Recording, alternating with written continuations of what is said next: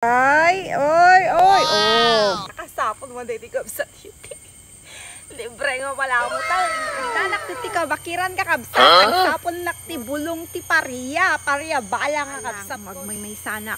Tadagya ka duwakot madamadag fish fishing.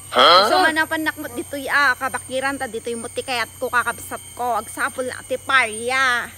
Kas ka tatigi. Umay kayo, neg may may sanak ni. Baka dati mang tilupanyak dito eh. Ang gagawin nga kaya tag fishing. So nga ay mapantal tag sapulon ati kuan masidan nga bulbulungan. Amo yung matay tikapsat yon gulay is life. Wow. Eh di jay. Parya balang ti kayat ko na beg. Ariwat mo ti ado. Kasi sidak pa lang mo ti ariwat. Ado ariwat dito ikakabsat ko. Ang Dagita na nagado nga ugot ta ariwat ni kakabsat na Wow! May kayo, tagala kayo. Sakto nagbayat ti panawon, han nga napudot.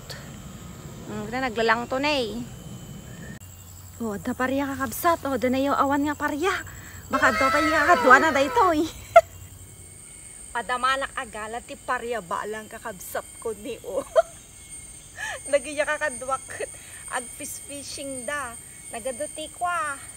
Nagaduti ariwat. Nung parya balang man manong um, nakasapol nak ni nakabirok nak umay kain kakabsat. Nakasapol man dito kabsat yuti. Libre nga pala mo taon.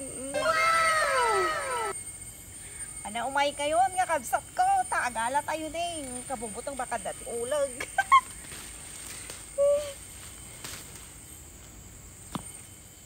Patay pa di jay. Nung kabubutong kakabsat na baka daulag. Magboy may sanak pa yung manggaron. At ay di ka doak di jay dagfish fishing da. Panak madiyad ada yung um, baka damang tiliw kanyak. Kaya pakaduan naman kakabsat ko.